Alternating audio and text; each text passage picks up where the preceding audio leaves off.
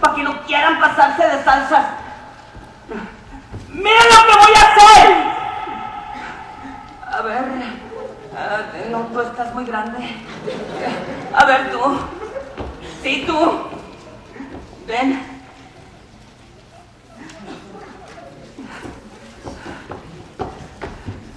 Grita.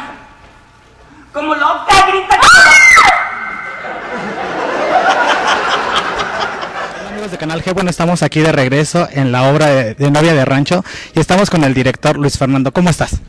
Eh, muy bien, Vico, muchas gracias, gracias a tu público. Este, pues muy contento, ¿no? Eh, es la segunda función de Novia de Rancho y hemos tenido, pues, este, afortunadamente, una respuesta muy favorable del público, ¿no? Ya lo has visto, la gente ríe carcajadas y bueno, pues ese es el, esa es la mejor paga, ¿no? Que podemos tener. ¿Cómo te sientes después de ver todo el fruto del trabajo que han hecho alrededor de esta obra? Pues satisfecho, ¿no? Satisfecho y agradecido con, con, todos los creadores, con todos los creativos que han participado en este proyecto. En primer lugar al maestro Cuthberto López que nos eh, cedió eh, la obra para poder montarla. Eh, un abrazo hasta donde Hermosillo, si nos está viendo el maestro Cuthberto.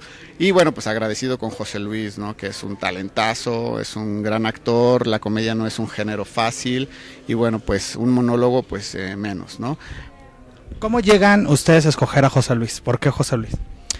Pues mira, eh, eh, cuando nos llegó el texto estábamos contemplando, bueno, el texto originalmente es este para, está escrito para que lo haga una mujer. Uh -huh. Cuando estábamos eh, deliberando, viendo opciones, eh, nos llegó la propuesta de el, un amigo de José Luis, Augusto Molina, y nos dijo, tienen que ver a José Luis, es un gran comediante y eh, les doy el material de dos personajes femeninos que él hace, que es eh, la quinceañera Xochitl Janet y la maestra eh, Resurrección.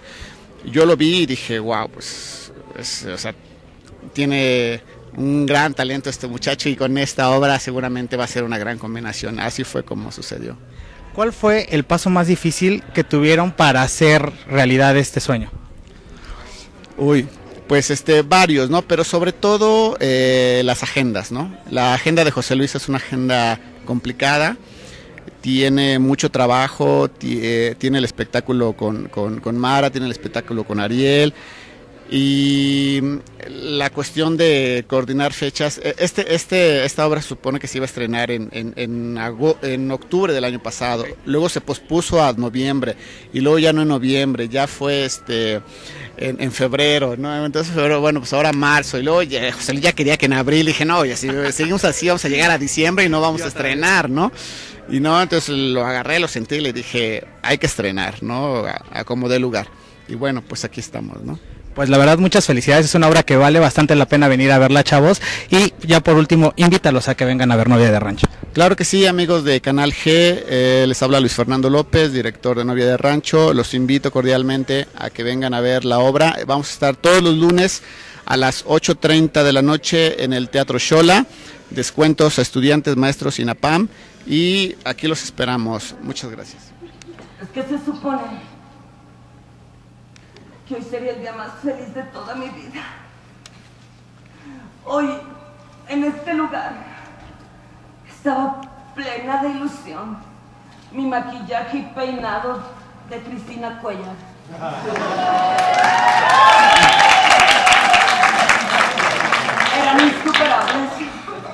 Mi vestido, precioso.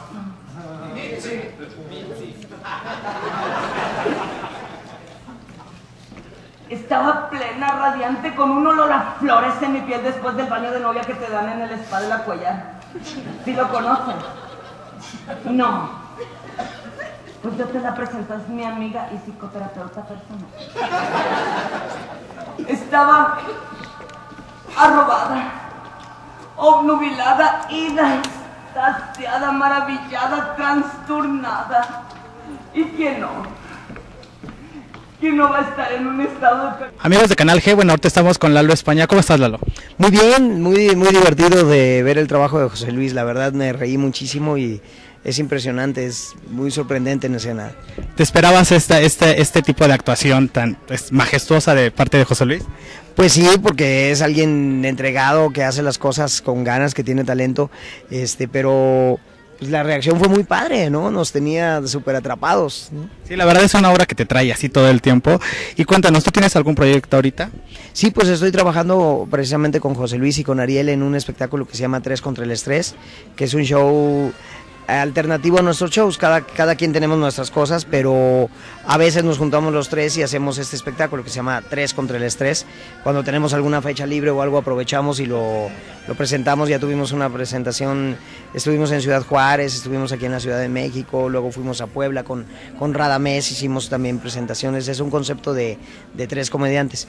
Tengo mi show aparte que se llama Márgara Francisca en el país de Basichín, que es eh, totalmente nuevo, con aparece Márgara en caricatura en una pantalla, somos tres actores en escena, está Luis Orozco y Julio César Fido, hacemos muchos personajes, van a ver por ahí a este a Laura Albaster Gordillo, a Carmen Salinas, a Margarito, eh, a Vicente Fernández, Márgara de Niña, dos diseñadores que escribí que son Dolce y Guayaba, este, unos hados, es como un cuento fantástico pero para adultos.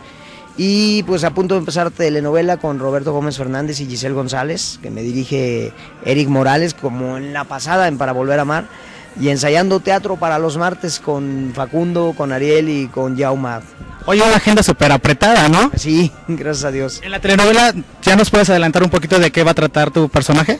Sí, voy a ser un ángel en mancuerna con el maestro Juan Carlos Colombo.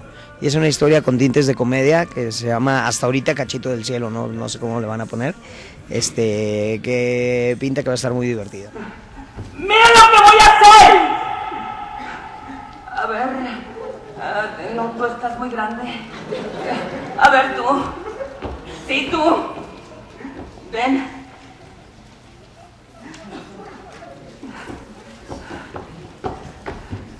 Grita. Como loca, grita. Bueno amigos, estamos aquí de regreso y estamos con la madrina de lujo, Mar Escalante. ¿Cómo estás? Bien, Vico, muchísimas gracias por, por haber asistido. No, pues es, la verdad, este tipo de obras son las que realmente valen la pena. ¿A ti qué te pareció? Pues me, muy divertida, me encantó la actuación de José Luis Guarneros y lo disfruté muchísimo. Tiene muchos matices él eh, como, como artista. Sí, algo impresionante es cómo todo el tiempo logró mantener la voz de Chava en la obra, ¿no? sí, con sus matices, porque luego él iba una voz esota, hizo muchas voces. ¿Es muy difícil? Mm, sí, bueno, fácil no es, pero para José Luis realmente es muchísimo más fácil que para cualquier otro actor, por el por el tipo de actor que es él y hace voces y personajes, pero tampoco es fácil. Mara, cuéntanos, ¿qué pasa con la segunda temporada de María de todos los Ángeles? ¿Ya te extrañamos? Mm, sí, yo también extraño eh, este, llegar a sus hogares. Parece ser que ya va la segunda temporada, ahí está buena noticia. Y todavía no tenemos fecha, pero ya nos dijeron que estuviéramos en luz amarilla. Hay un pequeño adelanto, ¿se salva María de todos los Ángeles del Tinaco? pues hay que, hay que ver, todo puede pasar, porque la historia puede agarrar para otro lado, mira cómo se llama, ¿no? Claro que sí. A lo mejor, no sabemos. A ver. En dado caso, por ejemplo, de que se retrase todavía más la segunda temporada y llega otra televisora, ya sea mexicana, de, otro, de otro país, ¿te irías a hacer otro proyecto? Bueno, en este momento eh, yo estoy contenta con Televisa, está, ya estamos por hacerla. Y, y bueno, pues, ¿para qué irme a otro lado si ya se va a hacer aquí, verdad? Bueno, ok, y ya por último, este, ¿qué pasaría si la comunidad gay te propusiera que fueras la reina de su marcha? Ah, yo, sí, este, Doña Lucha para reina gay, Doña Lucha para reina gay, ya me lo han propuesto, yo les dije que sí, pero ya quién sabe qué pasó, eso fue el año pasado, antepasado, a mí me hubiera encantado ver a Doña Lucha en un carro alegórico, así. ¿Y qué tal si yo te dijera aguas con lo que pides porque se puede volver realidad? Sí, sí, no, pues yo encantada, claro que sí. Este, le faltó un hijo gay a, a Doña Lucha, ¿verdad? Pues el este, chino. el chino, todavía estamos a tiempo, muchachos. Oye, Mara, de verdad, muchas gracias y pues de verdad esperemos que este este este mes de junio te podamos ver ahí en un camión como pave- como como Doña Lucha ahí.